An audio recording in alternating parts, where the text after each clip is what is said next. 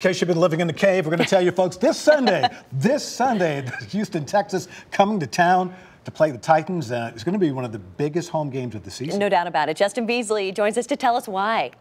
I like where you put that time. Yeah, the player said it feels like a playoff game because it is a game that is crucial in order to get to the postseason. It is also deemed a code blue game. As for what to wear, they don't do this often. And oh, will the fans be ready?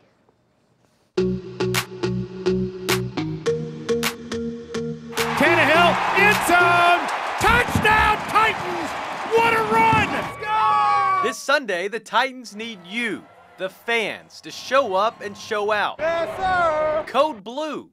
This blue is the dress code. So everybody come to the stadium, wear your Titans blue, just like me. I absolutely had to drive down here and get my shirt. We were here last night and bought the kids' shirts. I bought uh, I bought a couple of hoodies. Uh, my dad, uh, my dad and I are going to be going to the game. Uh, he's um, he's got dementia, and uh, sorry, it's uh, it's one of his his last wishes. So so we're going to see see the game, and and uh, it's going to be beautiful. This shows team support. The fans will really support the team.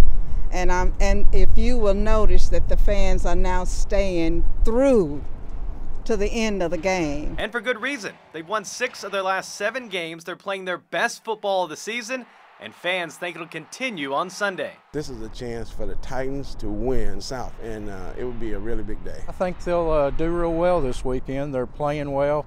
Uh, they have a direction. They run and they pass, and they used to just do whatever. They don't do it anymore.